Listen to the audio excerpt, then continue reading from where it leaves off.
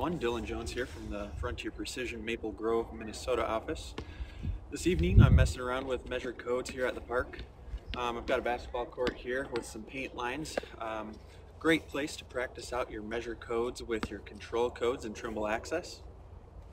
So this evening what I'm going to do is simply take some, some uh, topo shots on this basketball court, map out the paint lines, and uh, show you the result of what you can do with in the field feature coding.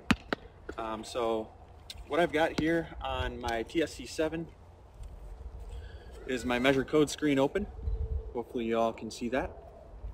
And so what I have set up are a few codes that I'm going to use for the paint lines along with some control codes. I have a start line, a close line, a start tangent arc, end tangent arc, start rectangle, and a start circle edge control code.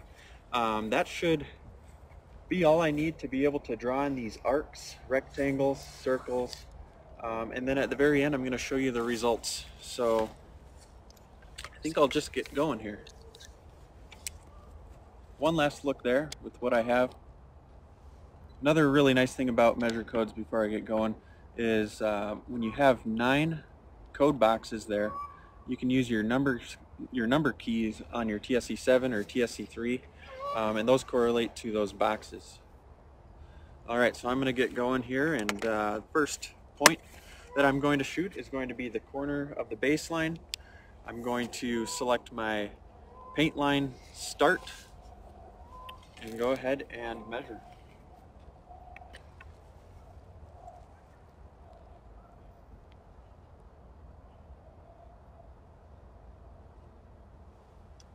I'm going to just go around the basketball court and map it all in.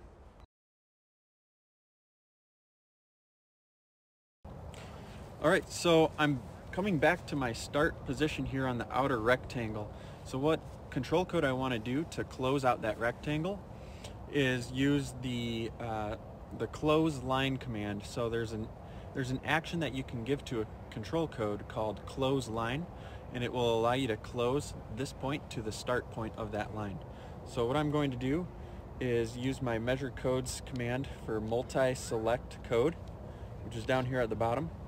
I'm going to pick paint line as my feature code, and then CL, which I have programmed into my feature code library as control code, uh, the control code for close line. So with that as my point code, I'm going to take the measurement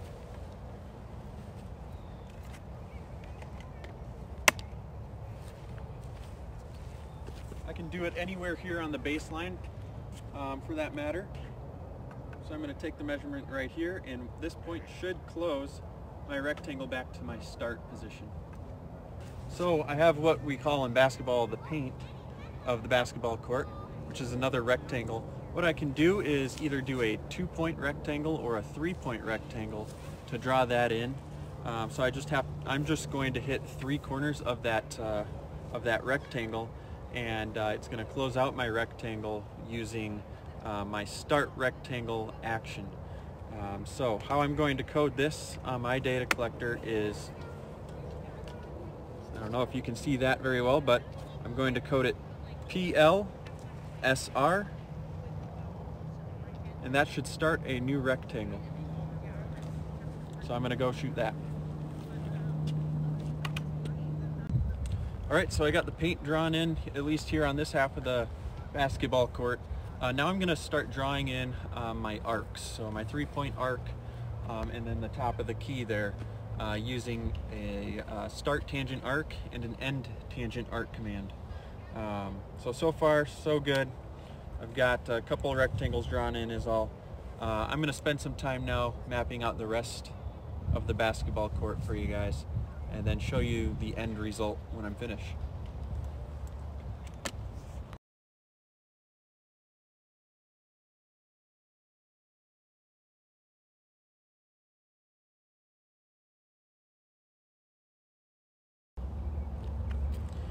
All right, that does it for today. Got my work done here.